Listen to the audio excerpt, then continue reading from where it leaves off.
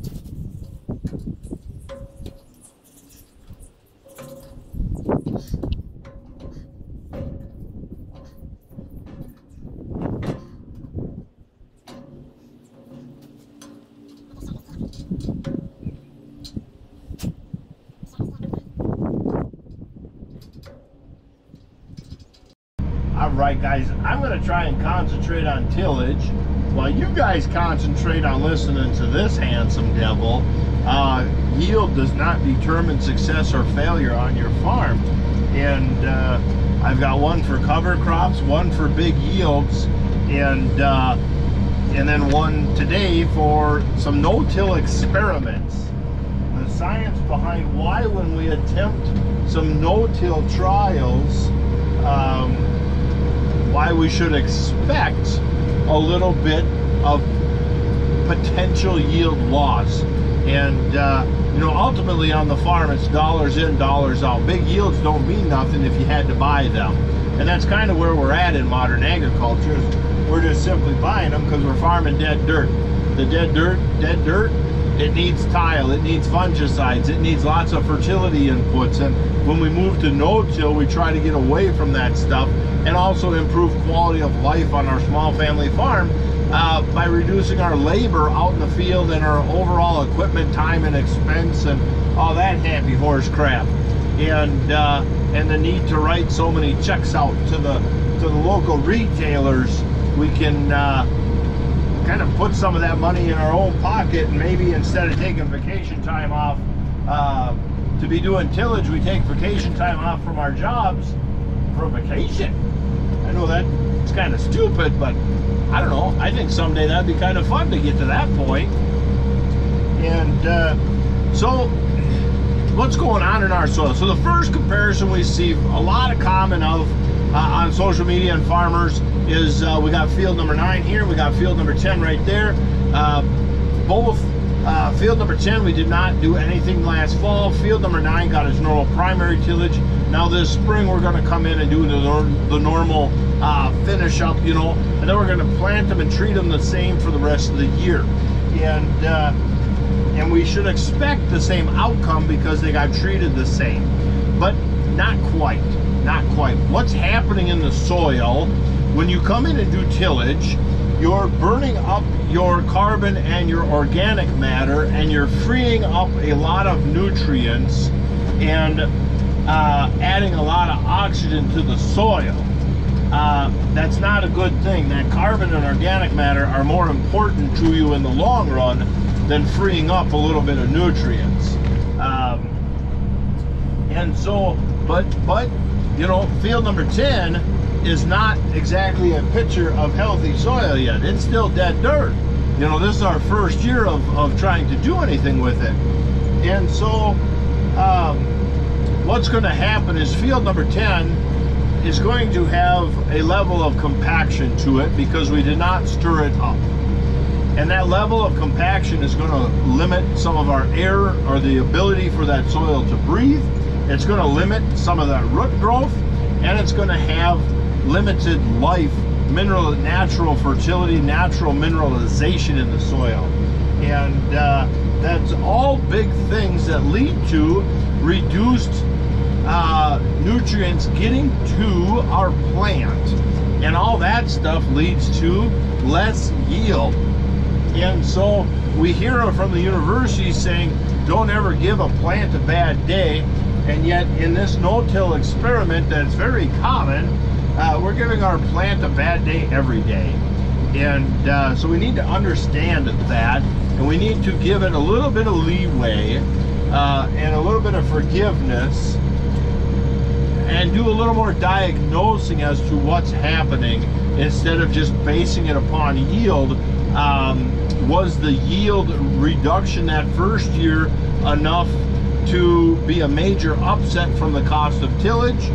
Uh, but in 10 years from now, if we were able to get that ground successfully transitioned to soil health and no-till, and we've reduced three or four hundred dollars per acre at today's cost of stuff, wouldn't that mean a whole lot more?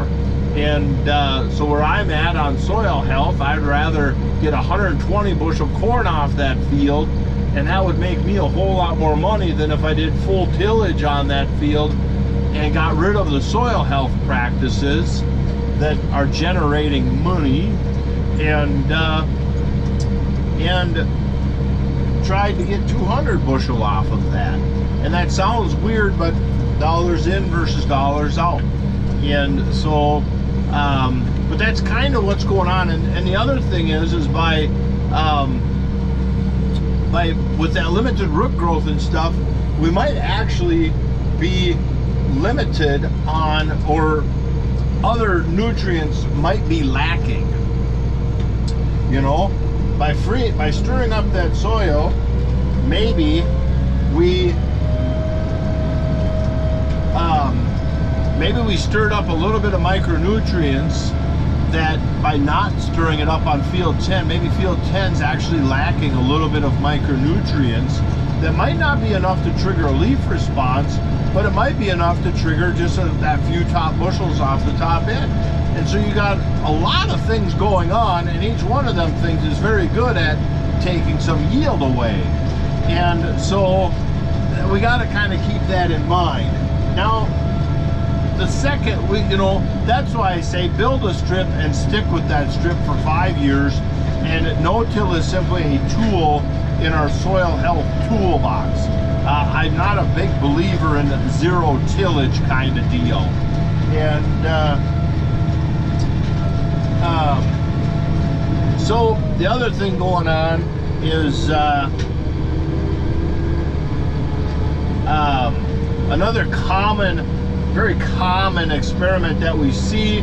Uh, before I tell you about it, I'm going to tell you about this um, this this corn hybrid test plot that DeKalb wants me to put in for them. And uh, so the, the DeKalb seed is going to be one third of the, the test plot. And the other third is I go get a bunch of seed from Fraudulent Business Network, Channel Legend, Gold Country, Pioneer, Peterson, and all that. So today I do my tillage, my normal program, and I seed all the DeKalb seed. And one week from today, we come back and we put in the second one third. We do our normal program and put in the second third of our hybrid test plot. And now, two weeks from today, we come out and now that part of the field's a little mucky, a little messy, so we don't even do our normal program. We just no-till into it. And now, uh, this fall, I want you guys to all come out and join me while we do the the harvest data and you can see how good that DeKalb is on my farm and uh, how good it does on my farm and uh, I think a lot of you guys are going to be like well that has to be about the dumbest the dumbest uh, corn hybrid test plot and I'd say okay if that corn hybrid test plot is so dumb then how come so many farmers are showing us on social media that exact scenario. So many farmers on social media will show you that exact scenario. Hey, I was able to do all my program on the whole farm except this field number nine here. That's kind of a wet, muddy mess. So I wasn't able to do my normal program there. And 10 days or two weeks later, uh, we were able to finally come back and just no-till into it. And why don't you guys come along this fall and see how well it does, and that determines if no-till will work on our farm. And uh, and and many people are like, yeah, boy, this ought to be interesting, you know. And this stuff gets posted all the time, posted all the time, and you're like, you show me any data, the universities have hundreds and hundreds of papers that correlate planting date, planting conditions to yield. So to simply say we're going to come back 10 days later or two weeks later and compare this field to the rest of our farm and see how it does, but also how many farms out there I have three fields around my farm all planted to soybeans and they always, when them three fields are planted to the same crop, they always yield the same.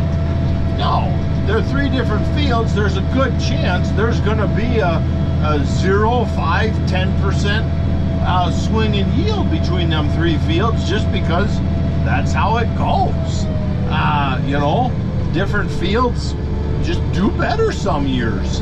And so that one, I, I like the analogy of the, the corn hybrid test plot because if I just said anybody on YouTube or social media or the forums that's doing test plot or uh, showing how no-till works or doesn't work on their farm and and they're just a complete idiot for trying to show this example you guys would be like hey John you're being a little hard on some of the farmers out there but with by relating it to the corn test plot and not calling anybody dumb I think you guys can can agree with me that that's kind of dumb to for people to show that way on, on their own farm.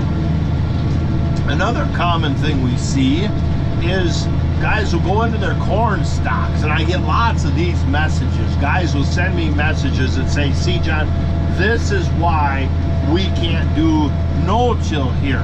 And they'll go out into their corn stalks and they'll dig a bunch of ruts and they'll just be horrible.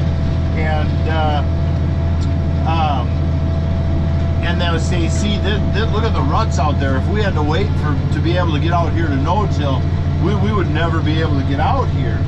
And they're not wrong in the fact that, yeah, they if they had to wait, it would be a horrible mess. But uh, uh, the other thing that's going on is uh, they have no structure. They have no life. They have no soil health. There's no ability for that ground to deal with all that excess water. There's there's no structure to carry anything. And it can't, you know, since it's corn stalks, they always say, well, my corn residue is, is keeping my ground from getting warm and dry. No, because corn ground traditionally gets a little more aggressive tillage up front. Um, and then you also have that big root system. So the next year, when we're dealing with dead dirt, uh, the next year, that corn root is, is more like a sink or a sponge in that soil because if you took a probe, you would see how that corn root zone is just nice, soft, just just kind of a mess until it builds structure. And uh, but that's what's going on there. And so when I tell guys that, some guys come back and they want to uh, have a conversation about it, and other guys are like, "Well, fruit you, uh, I don't have dead dirt, and uh, you know, fall off the face of the earth, would you, buddy?" You know, I think they use different language than that, but you get the gist of what they're trying to tell me. And, uh, well, and, and so, yeah, so I don't know. I think I'm just going to leave it right there, guys. And uh, you guys tell me what your thoughts are. Does that make any sense to you, what I said? And uh, we'll go from there, and uh, we'll look forward to seeing you on the next one, guys.